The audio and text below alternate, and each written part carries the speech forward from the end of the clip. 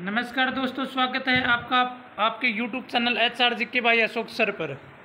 तो आज अब आप, हम आपको शनिवार को जो हमारी एकेडमी पर पेपर हुआ था, वो पेपर सोल्व उस पेपर की हरियाणा जी के फुल डिटेल में सोल्व करवाते हैं आपको, ठीक है? इम्पोर्टेंट क्वेश्चन है और आगामी एग्ज़ाम इनमें से भी रिपीट हो सकते हैं। तो इन क्वेश्चनों को अच्छे से सोल्व करवाते हैं। सेवेंटी सेवन क्वेश्चन से शुरू होती है भाई हरियाणा जी की सिरसा के युद्ध के बाद हरियाणा में कौन सा वंश आया? ए, खिलजी वंश, बी, तैमूर वंश, सी, तुगलक वंश, डी, तोमर वंश। तो देखो, सिरसा का युद्ध हुआ था तेरह सौ बीस में।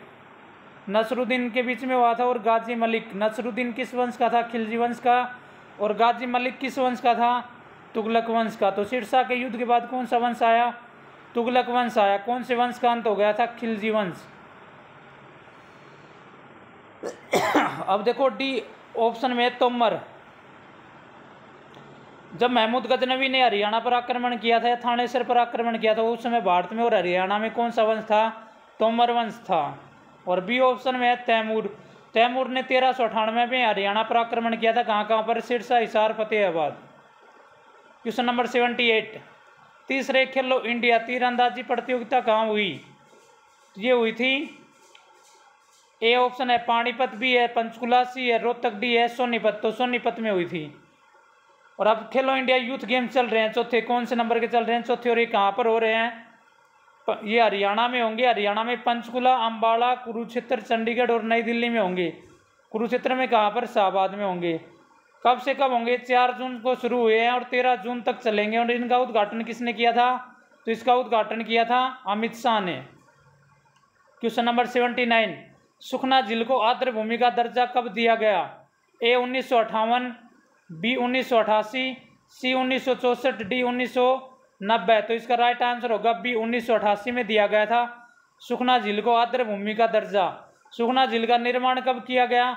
उन्नीस सौ अट्ठावन में। किसने किया था? ली कार्बूजियर ने कहाँ, पर है सुखना झील चंडीगढ़ में है और शिवालय की पहाड़ियों की तलहटी में है और पंजाब हरियाणा हाईकोर्ट ने सुखना झील को जीवित मनुष्य का दर्जा दिया है। Question number eighty, Mahatma Gandhi ने ब्रिटिश सरकार के लिए, देखो टाइपिंग में थोड़ी मिस्टेक हो गई थी, रोशनी की जगह आएगा, सैतानी शब्द का प्रयोग किस ज़िले में किया? ए है सोनीपत, बी है रोहतक, सी है भिवाणी और डी है नू। तो इसका राइट आंसर होगा सी, भिवानी। 22 अक्टूबर 1920 में अम्बाड़ा डिवीज़न कॉन्फ्रेंस हॉल की बैठक कहाँ पर हुई थी भिवानी। और इस बैठक में महात्मा गांधी ने ब्रिटिश सरकार के लिए पहली बार सैतानी शब्द का प्रयोग किया था। ये क्वेश्चन भी एग्ज़ाम में आया था कि अम्बाड़ा डिवीज़न कॉन्फ्रेंस हॉल की बैठक हरियाणा में कहाँ पर हुई थी तो भिवानी में हुई थी। Question number eighty one Haryana विधानसभा की मासिक पत्रिका का नाम बताओ। ए ऑप्शन है हरिगंधा बी है, जमुना तट, सी है, हरिप्रभा डी है सदन संदेश तो इसका राइट आंसर होगा सदन संदेश। तो जमुना तट किसकी है? ये उर्दू साहित्य अकादमी की है। हरिप्रभा किसकी है? ये हरियाणा संस्कृत अकादमी की है। हरिगंधा किसकी है? हरियाणा साहित्य अकादमी की है। क्वेश्चन नंबर एट्टी टू दो हज़ार बाईस तेईस बजट में हरियाणा में कितने महिला कॉलेज खोलने की घोषणा की गई है?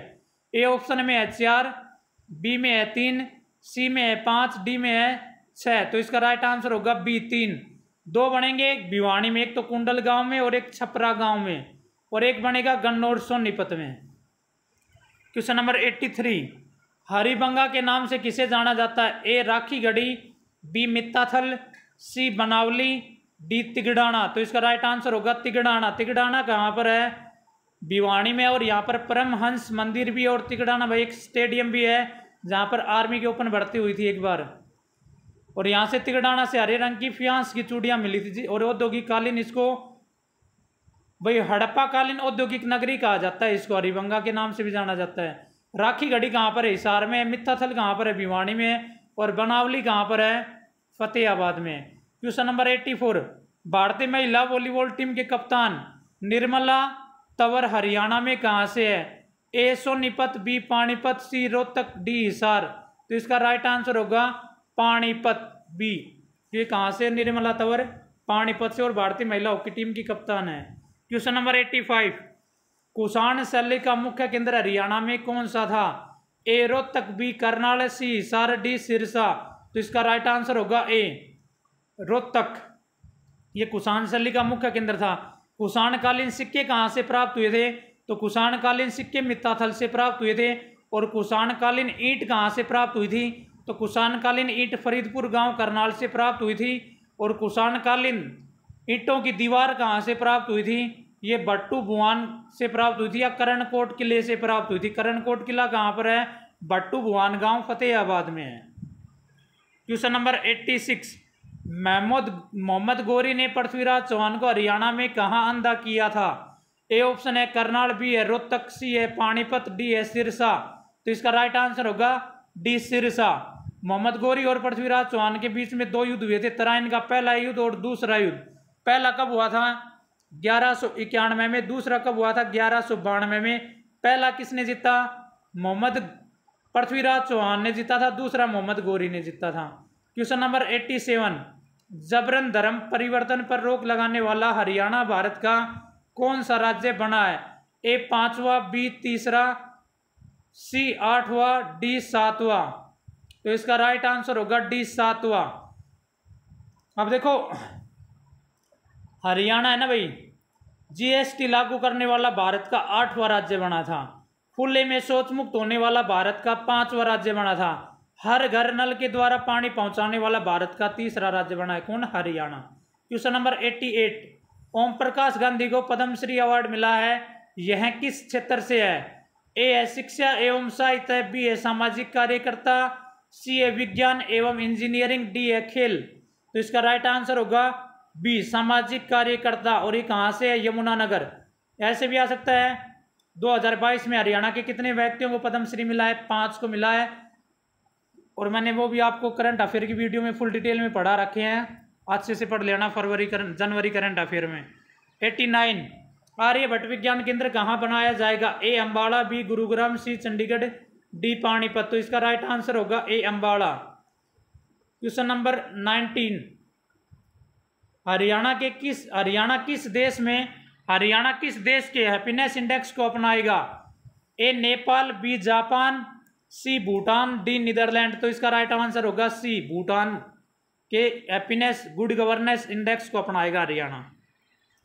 Ninety one Unnati Hooda 2022 Odisha open badminton tournament जीता है, हरियाणा में कहाँ से है? A, Hisar, B, Panipat, C, Rohtak, D, Karnal. तो इसका राइट आंसर होगा C, Rohtak.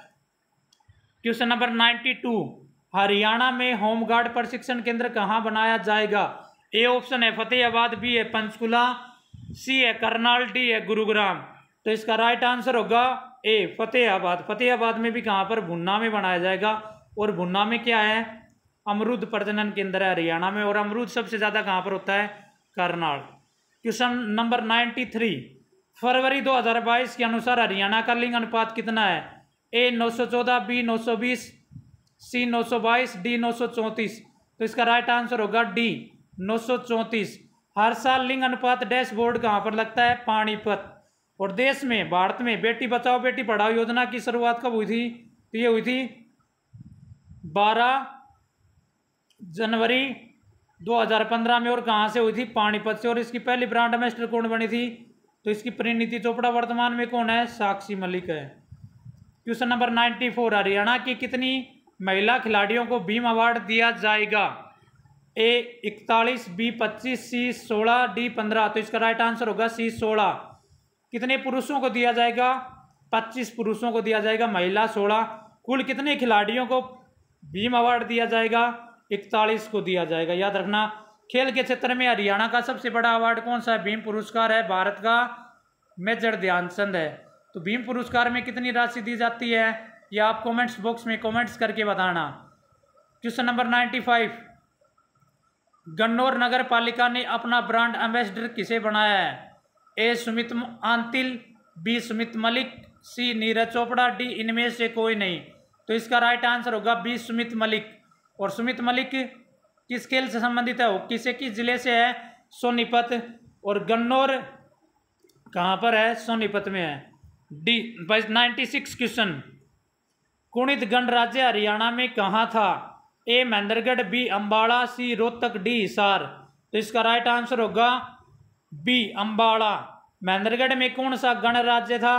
अर्जुनायण इसार के अग्रोहा में कौन सा गणराज्य था? अग्र गणराज्य था। ठीक है? और ए एस अल्तेकर के अनुसार युद्ध गणराज्य की राजधानी क्या थी? रोहतक थी। ये भी आपको पता होना चाहिए। अच्छे से।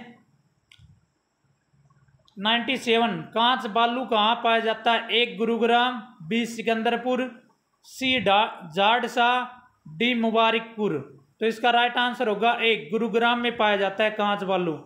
चिन्नी मिट्टी कहाँ पर पाई जाती है? सिकंदरपुर में। देखो सी ऑप्शन में जाडसा इसमें जाडसा में क्या है? ये भी गाँव गुड़गांव में, और यहाँ पर बेगम समरूर का महल है। बेगम समरूर का महल, हरियाणा ग्राम सचिव में पूछा गया था ये। मुबारकपुर गाँव। मुबारकपुर गाँव, गुरुग्राम का एक गाँव है, और इस गाँव में बुद्ध माता का मेला लगता है। Question number ninety eight. सल्तनत काल में हरियाणा का प्रवेश द्वार किसे कहा जाता था? A Bahadurgarh B, Ballabhgarh, C, Taraori, D, इनमें से कोई नहीं। तो इसका राइट आंसर होगा तरावड़ी। तरावड़ी कहाँ पर है? करनाल। देखो, हरियाणा का प्रवेश द्वार किसको कहा जाता है? तो बहादुरगढ़ को। बहादुरगढ़ कहाँ पर है? जज्जर में कौन से नेशनल हाईवे पर है? दस पर है। दिल्ली का लोह द्वार किसको कहा जाता है? तो दिल्ली का लोह द्वार कहा जाता है बल्लभगढ़। बल्लभगढ़ कहाँ पर है? Faridabad. Question number ninety nine. Hemu Delhi की गद्दी पर कब बैठा था?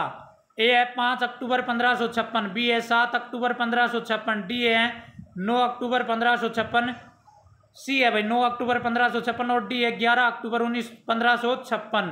तो इसका राइट आंसर होगा बी सात अक्टूबर पंद्रह सौ छप्पन में बैठा था। और दिल्ली की गद्दी पर बैठने वाला अंतिम हिंदू शासक भी कौन था? हेमू। हेमू कौन से नंबर का विक्रमादित्य था? तो चौदहवें नंबर का विक्रमादित्य था। उत्तर भारत का नेपोलियन या समुद्रगुप्त किसको कहा जाता है? हेमू को कहा जाता है। हेमू का मकबरा साधोपुर गाँव में, पानीपत में और हेमू की हवेली कहाँ पर है? हेमू की हवेली कुतुबपुर गाँव, रेवाड़ी में और पुर्तगाली शैली में बनी हुई है। और हेमू की खंडपीठ कहाँ पर है? ये आईजीयू इंदिरा गांधी यूनिवर्सिटी, मीरपुर, रेवाड़ी में है। Question number question number hundred. तीन मंजिला लाल मस्जिद हरियाणा में कहाँ पर है? A, Rewari, B, Rohtak, C, Sonipat, D, Jhajjar. तो इसका राइट आंसर होगा सी, सोनीपत। देखो, लाल मस्जिद दो है, एक तो रेवाड़ी में और एक रोहतक में है। रेवाड़ी की जो लाल मस्जिद है, ये किसके शासनकाल में बनी थी? ये अकबर के शासनकाल में बनाई गई थी 1570 में। Thank you for watching our video कैसी लगी हमारी वीडियो कमेंट्स बॉक्स में कमेंट्स करके बताएँ और आप वीडियो को ज़्यादा से ज़्यादा लाइक शेयर व सब्सक्राइब करें।